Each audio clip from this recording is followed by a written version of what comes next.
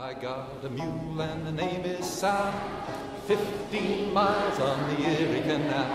She's Hi, welcome to our documentary. We studied the city of Rochester and have taken trips around many area places. Today, when you watch our documentary, you are going to see visits in different areas of the city. Here are some of them. Center City. City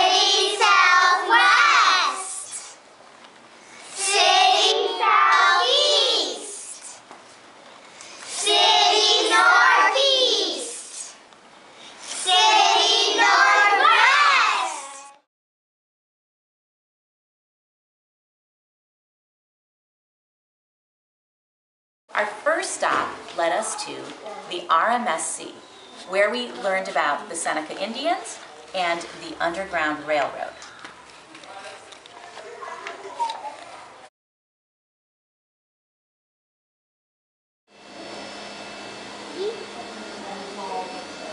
The Seneca Indians, which are native to the Rochester area, are part of the Haudenosaunee, a five-tribe nation.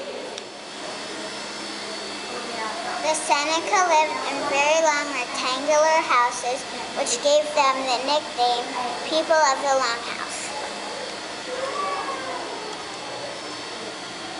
They have a rich history of telling stories of how and why, such as the story of how stories began. The, Ho- the Haudenosaunee Nation developed a law called the Great Law of Peace. They buried their weapons and planted a tree, resolving to use their words to solve disputes. The uh, French, Dutch, and English took 99% of their land. Look at the dog. It might be dog Did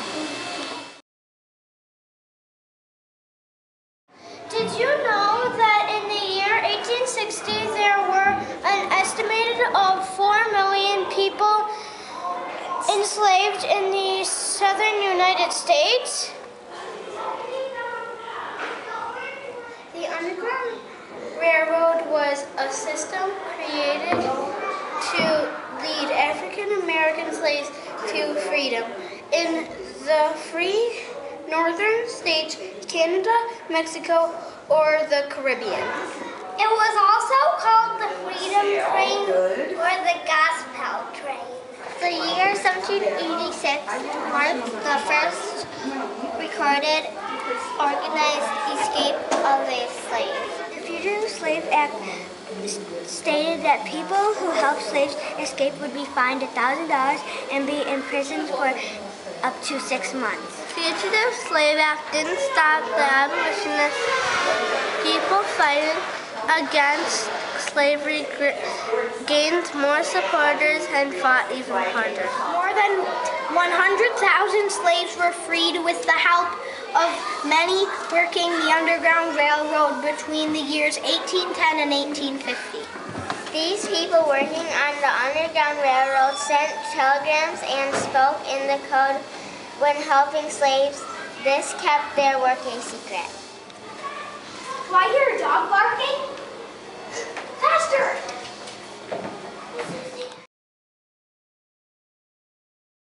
Susan B. Anthony was born in 1820.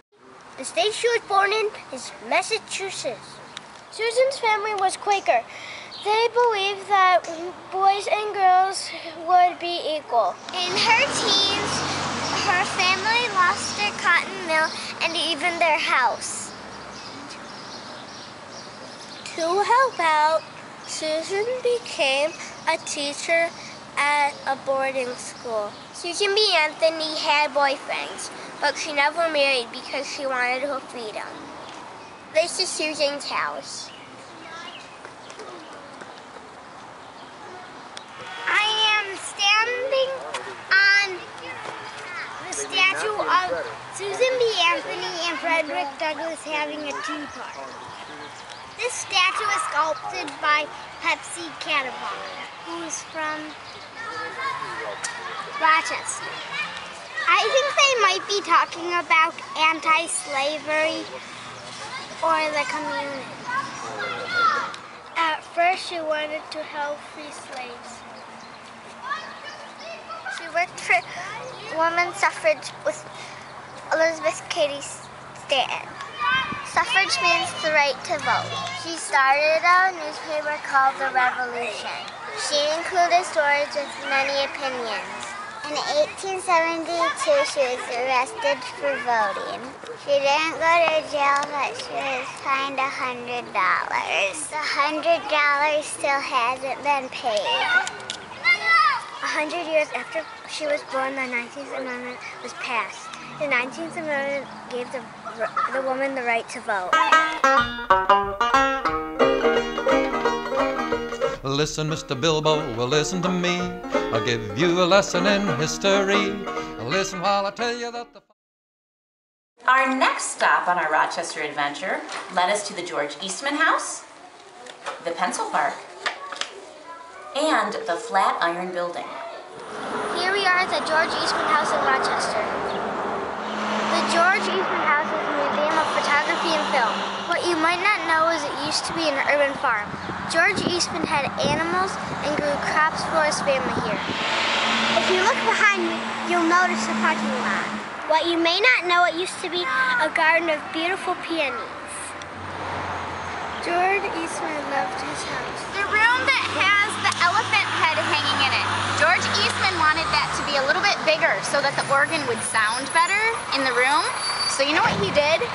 He had people cut the house from the roof down to the ground and put logs underneath it and roll it back. I think nine feet or eight feet.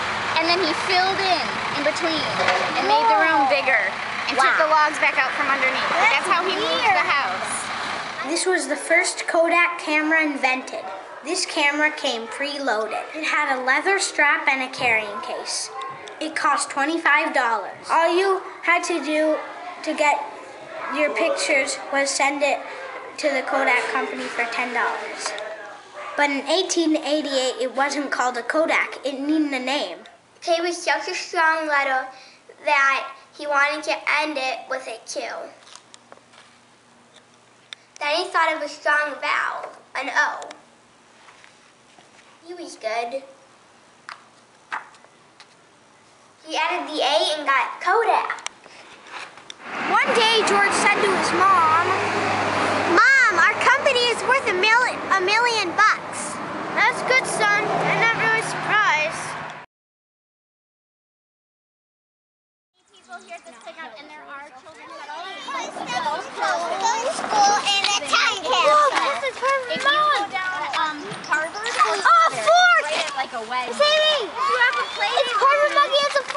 It's like a big sea can find and there's a bottom of a thing that says of a glass, a 2000 jar. flashlight. It. Wow. Maybe. And look, there's like a, a heart of a glass. Or Yeah. And And there's even glass of that. When do you think they might open it? I don't know. I think 2030. 2030? Maybe, maybe 1,000. or maybe 3,000. Do you think it'll last that long? Yeah. You won't be alive then. No, it wouldn't. We're standing in front of the Flatiron building. It was built in the 1800s. In 1981, it was in bad condition. Paul Kramer worked hard to save it. Now it is an anchor in the neighborhood of the arts.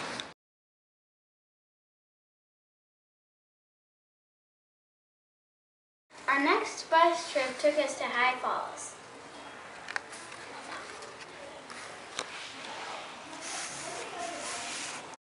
Back when these buildings were mill buildings, this road was the raceway. So the water would come off the river, out of the river, onto the raceway, and there were water wheels along here, and these were all factory buildings, and, and they would grind wheat and they would make other things. And so the water would come down the raceway, and it would power all of the wheels. It would turn all the wheels, which would then power the stuff that was in the factory. So this just gives you an idea of what that used to look like. They, they put this here to show you what a raceway would have looked like. So it was low down like this and it was filled with water, but there were water wheels that below that it was powering. We're gonna go eat our snack on the bridge and check the falls out. Nice job, Fre- Pat. We are sitting on the Pontoon Bridge. It was first built in 1899. The Pontoon Bridge is 80 is 858 uh, feet long. What And kind of bridge? is- Okay. And it's a truss bridge. When this bridge was first built, it was for traffic, but in 1982, it was converted to pedestrian bridge to. Right? Sam Patch was born in 1799 and he jumped into a new century, they say. He jumped all his life and became a daredevil jumper. His dad used to say he'll he'll settle down he'll settle down soon enough. But Sam used to say you can do some things as good as others. His first jump was into Passaic Falls, 70 feet high. His second big jump was into Niagara Falls. It was 165 feet. His first jump in High Falls was 96 feet. On his second jump, he built a platform to make it 120 feet. Unfortunately, his second jump into, into High Falls was his last jump. He died on Friday, November 13th in 1829. Legend has it on stormy nights you can see Sam Patches go.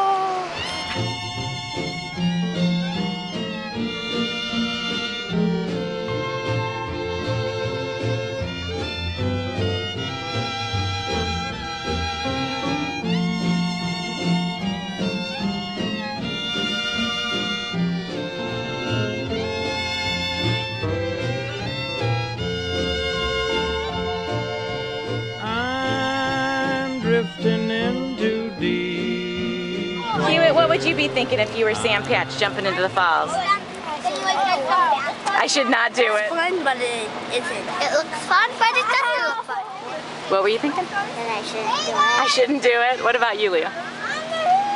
It's not that high, but I still shouldn't do it. Really? That's not that high. what about you, Siobhan? I would think, should I do it or should I not do it? Okay. Everything in this is a nice day to cool off. This is a nice day to cool off. Everything in this is gonna be cool if it was cool day. It would be fun, but I would drown. Yeah, I can't wait to jump. We, I can't wait to jump. This is weird. This is weird of me. What would you be Oh. thinking, Freddie? I would be thinking. No, I would be thinking I'll probably die. Oh my goodness. So the students think they may have seen, found some of Sam Patch's platform down here. If you can see that piece of wood, several pieces of wood put together down there, laying there. We have some people saying that there's no possible way. Spray paint on it and it looks very new and there's no, um, and all the edges are nice. You think? Because, like that, it's just like a random little piece inside the river. So, and he built a platform, so it could be. Our next adventure took us back on the RGTA all the way into the South Wedge District. Here we stopped first at the Coffee Connection. Our next stop was Hedonist Chocolates and soon-to-be ice cream. Our next stop, stop was Mise en Place, where everything was set in place. And our final stop led us to Nathaniel Rochester Square.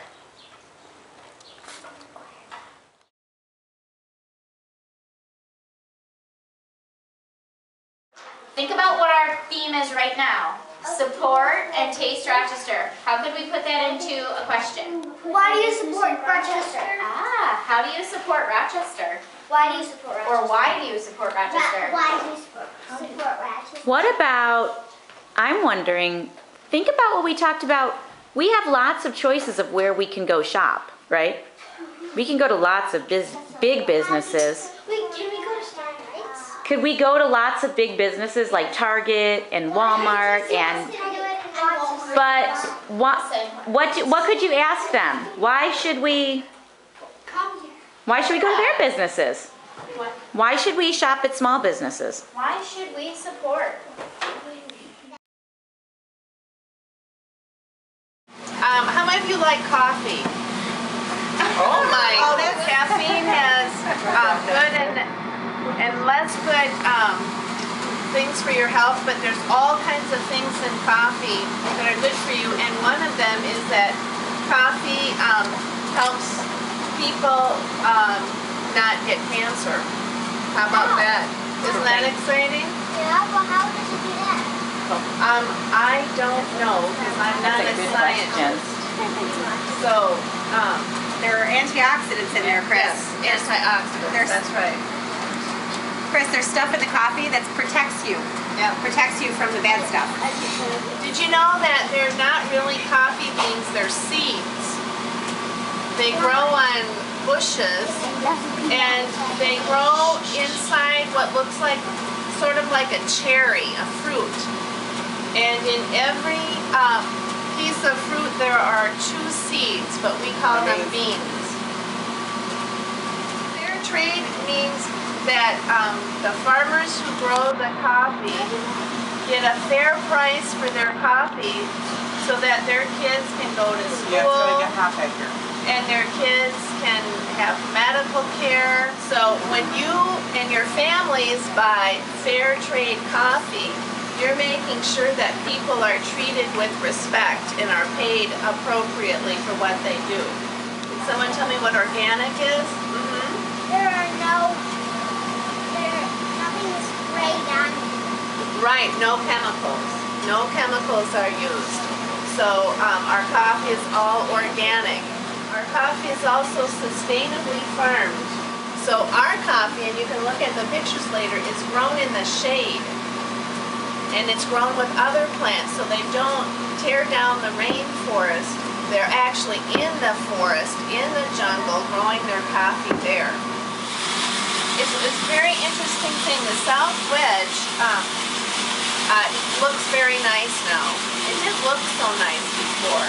And there were a lot of problems with drugs and crime over here. And the Coffee Connection was one of the first businesses that helped the South Wedge to start become a better place. And one of the things that we're doing in the places that we are going to is we're trying to help empower and help those neighborhoods be healthier as well. We're now working with women that drink coffee instead of take drugs. So it was a natural connection for us to choose coffee. Okay? Yes. How do you support Rochester? Why do you support Rochester?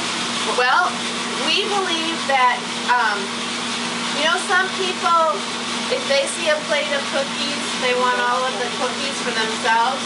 And other people say, oh good, here's a, here's a plate of cookies that I can share with my friends. Which person do you think you're gonna like better? Share with your friends. Right. And that's what we're trying to do is we're trying to share with our friends because we want everybody to do better. The area needed a restaurant that had good, good homemade food that you could take home and eat, where you could eat here. Actually, when we first opened, there was like a wall right here. So all, the, there were only tables, there were three tables. And we didn't even have real silverware, but people wanted to stay here. So we were giving them plastic silverware, paper plates, and then it just evolved into a big restaurant. Um, and so that's how it started. Yes, sir. Why did you choose the flat? Why? Don't you like to eat? yeah? Well, so does everyone else, right? There was nothing in the neighborhood for people to go get milk if they ran out, or to go get eggs if they ran out while they were baking.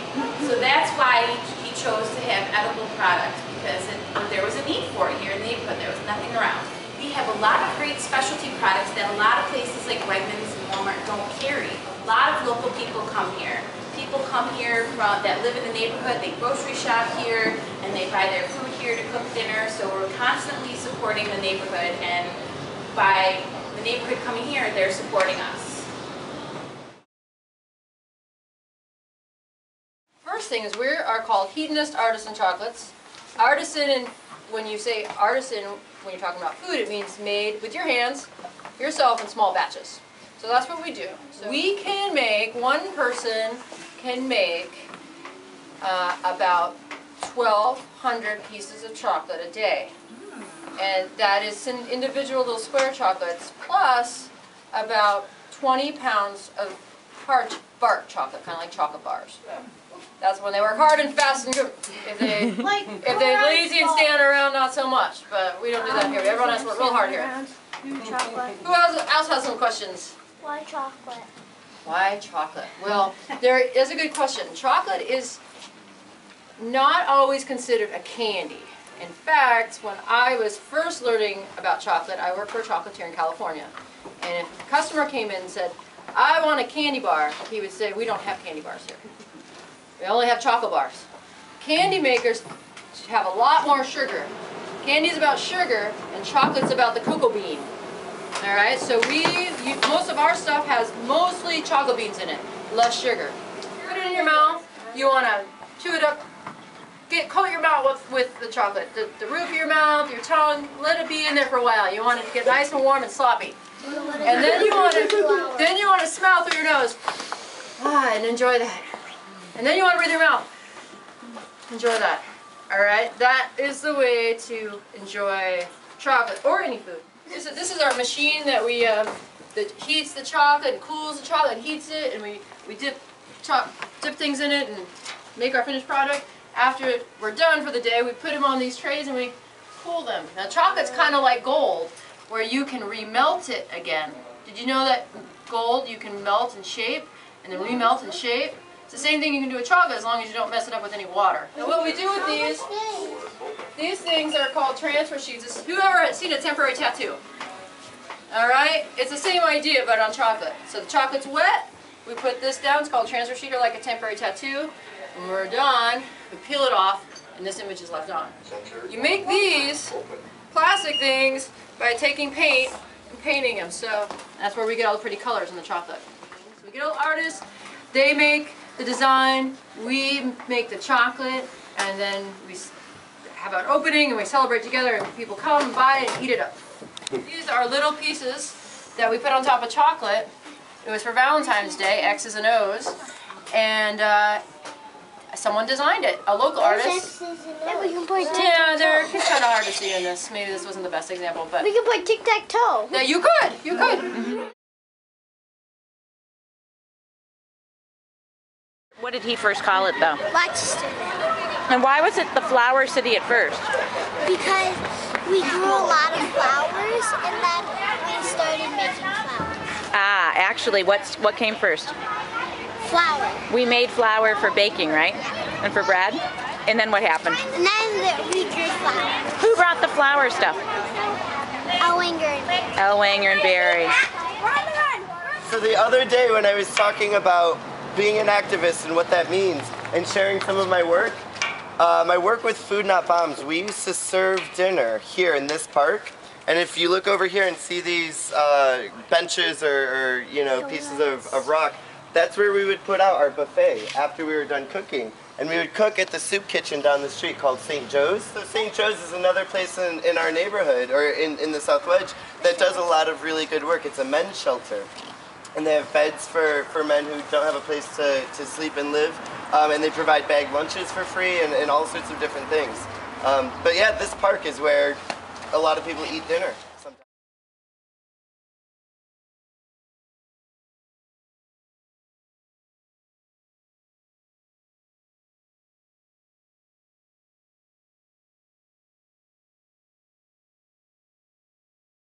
I know it's not on our map, our map, but we took a, a trip to Genesee Country Village.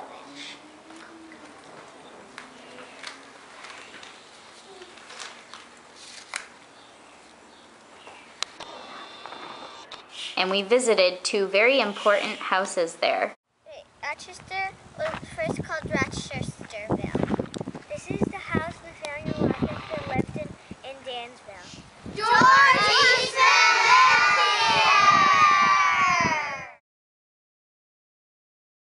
And our next stop was Highland Park, and George Ellwanger donated this land for this park. Frederick Law Olmsted designed this park. Here we are at the at Highland Park, and behind us is a statue of Frederick Douglass.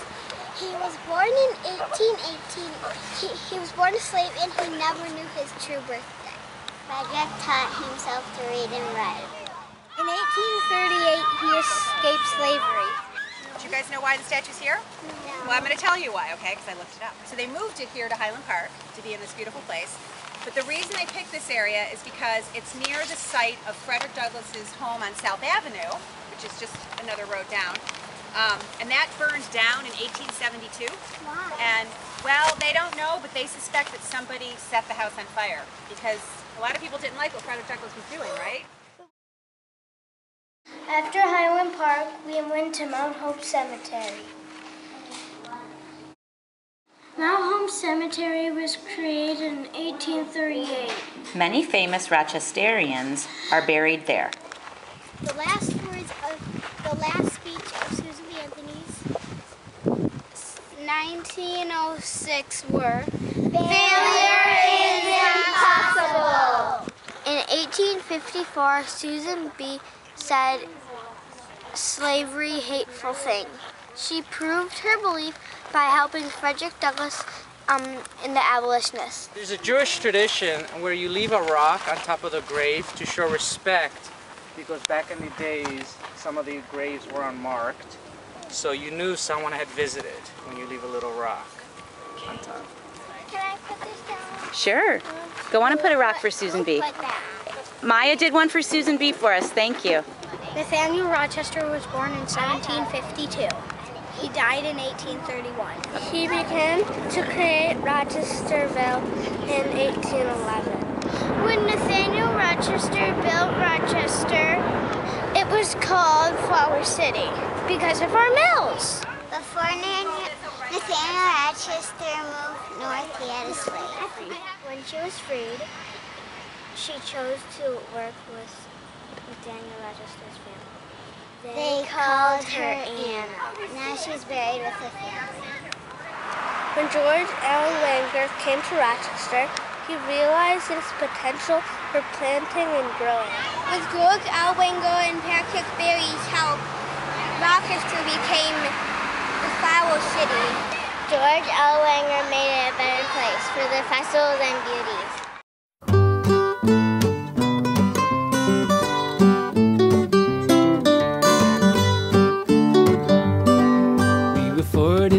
Miles from Albany.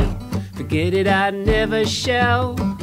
What a terrible storm we had one night on the Erie Canal.